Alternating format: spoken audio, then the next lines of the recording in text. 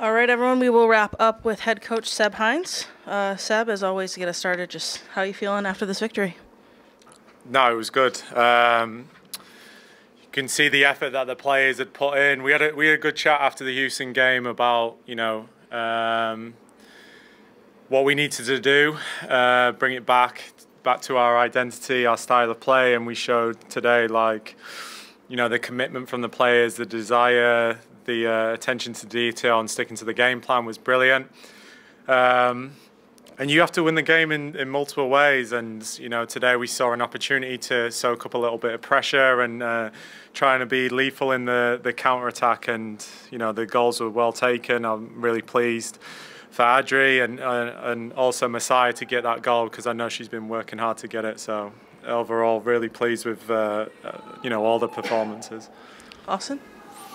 Seb, a couple days ago, well, Friday, I guess, um, you said that this team has come a long way since that first game against Portland, and there was a, a fire in this team's belly to kind of recoup what happened in, in day one of the season. Mm-hmm. How much did that kind of play a factor into into this performance to be able to to have a, a dominant performance against a top team in the league? No, it's massive. Um, you know, you look back at that game, and it was it was due to our own downfall that we lost that game. Um, you know, individual mistakes, um, and a team like Portland, they'll punish you. So, again, we we use that as fuel um, for the players to to to kind of prove people wrong change people's opinions. You know, everyone wrote us off early on the season, said we're not good enough, and now we're trying to change people's perception of what this team looks like. Um, you know, we've got a lot of young players um, here.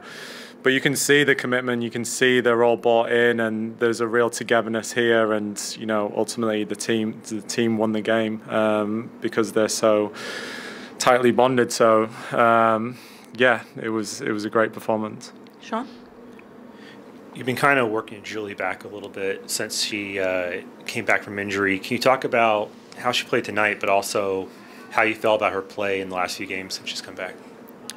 Yeah, when she got injured, because she had a terrific preseason, um, so it was a real, you know, it's uh, it's awful for her to to do so much preparation going into the season and then uh, get injured two games in, but you know, the medical staff did a terrific job with her, made sure that she was fully fit to come in and make an impact. And you've seen the games that she's come in, uh, she makes an immediate impact. Um, so, you know, to get the start today, her intent to go out uh, players, um, put them on the back foot, you know, get to the byline, put dangerous crosses in. Um, you know, even the opportunity that she got in the first half where she kind of falls over, but you know the intent is there um, to be hungry to score goals. So, you know, I'm pleased to have her here um, back fully fit, and you know she was she was brilliant like the rest of them. Go to Jay. Uh, Seb, three straight home victories now. How pleased are you that the Exploria Stadium is becoming a bit of a fortress?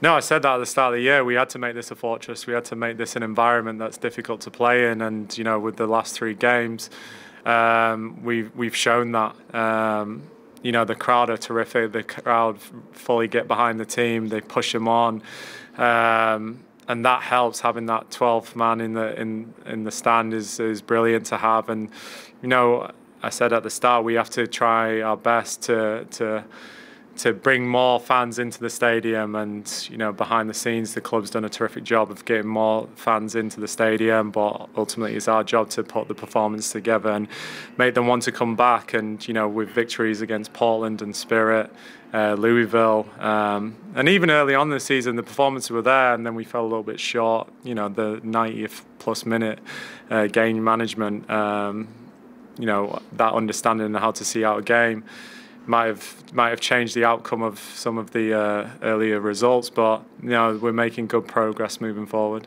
Awesome.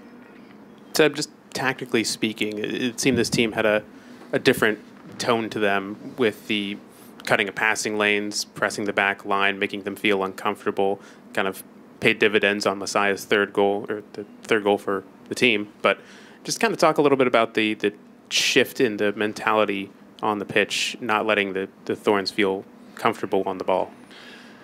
Yeah, I mean, there's two sides of the game. Um, there's the obviously the attacking and the, the defending, and we had to show a little respect to Portland. They have good players. They you give them too much space, they can manipulate it. Even in short spaces, they can manipulate it um, really well. And we just tried to minimise the space that they can work in. So that's why our engagement line was a little bit lower. We made the less threatening players have the ball. Um, and sometimes when you're in them positions at the back, you get frustrated and you may force something that's not quite there. So that's where we felt we could win the game, um, being compact, being um, you know together in our defending, and then be threatening in transition. You know, Ali coming in, you know, with her speed is a threat. You know, Adri in the ten position as well is a threat. Marta picking up the the ball and switching the play and you know starting counter attacks. That's that's ultimately where we saw our um, biggest positives to win the game. So yeah, the players did extremely well. It's it can be uncomfortable not having the ball for a long time, but that's that was the game plan and it it worked. Energy. the gym. Uh, so Messiah Bright came off the bench to get that third goal. Just how crucial do you think that was getting that goal at that time as well against a team like Portland?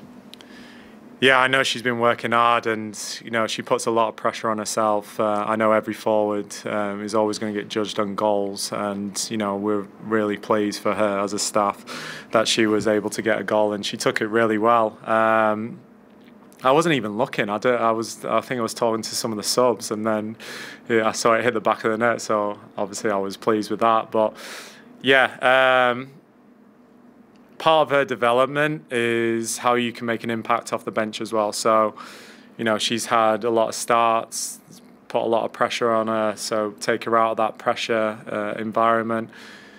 Come on, make an impact, and she did by scoring a goal, and that's that's what she can do. So again, we're all we're all really pleased for her and her performance. Last one with Austin. Seb, I wanted to ask you about Emily Madril and just her progression over the course of this season, especially for you as a former center back to, to watch her and leading the team in tackles, leading the team in clearances tonight, coming up big in some very big stops, shading uh, a lot of their best attackers, kind of forcing them off the ball. Just from her progression from day one of the season to now, uh, what have you seen from her?